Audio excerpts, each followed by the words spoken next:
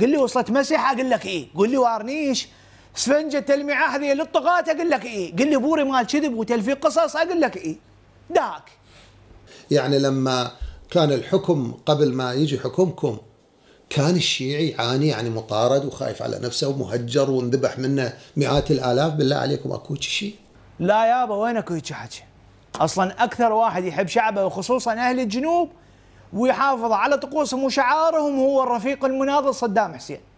واللي كان يموت من القهر إذا سمع بأحد من حمايته متجاوز على مواطن بيهم أو مسمع حكايه مو حلوة كان جنوب العراق ووسطه هو الأرض التي انطوت بحزن رهيب على ضحايا من أبناء الوطن الشمالي. لكن في أرض الشمال أيضا قبور من هذا الوسط أو ذاك الجنوب. يتعاملون مع العظام بحرص شديد فوراء كل منها قصة ودموع لم تجف لسنوات. وهناك هيكل عظمي عليه عباءة نسائية وهيكل طفل يقبض على خرزة زجاجية صغيرة من نوع التي اعتاد أطفال العائلات العراقية البسيطة اللعب بها. صدام اطاهم على كراس يكون شو يعدموه على كراس؟ على شخص 3000 دينار بذاك الوقت. كشف عن قبر مرعب ضم خمس عشرة ألف رفات. وهاي المقبرة العدد الموثق بها والمضبوط هو 11165 شخص هنا حاليا. 360 مقبرة جماعية موزعة في محافظات الجنوب تضم رفات الآلاف الشهداء. تتوزع هذه المقابر على الخارطة العراقية على الشكل التالي. كردستان العراق أي السليمانية وأربيل ودهوك وجدت فيها 17 مقبرة. في نينوى عثر على مقبرة تضم أمهات وأطفال يحضنون ألعابهم. في كركوك وصلاح الدين عثر على 17 مقبرة. في المحاويل وهي قضاء تابع لبابل عثر على أكبر مقبرة. في الحلة عثر على خمس مقابر. الناصرية ديقار وجد فيها خمس مقابر.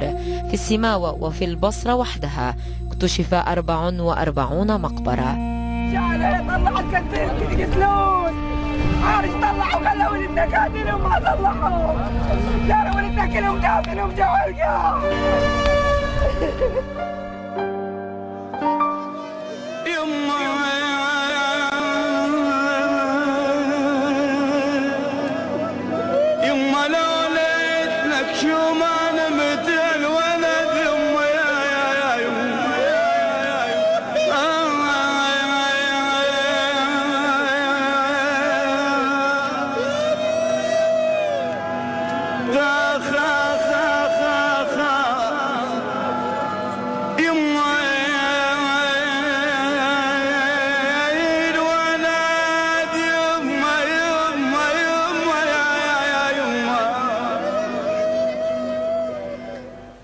زين أنا هسه أريد أجي هاي المراه اللي لازمه ما تبقى من راس ابنها وأريد أواسيها بمصيبتها.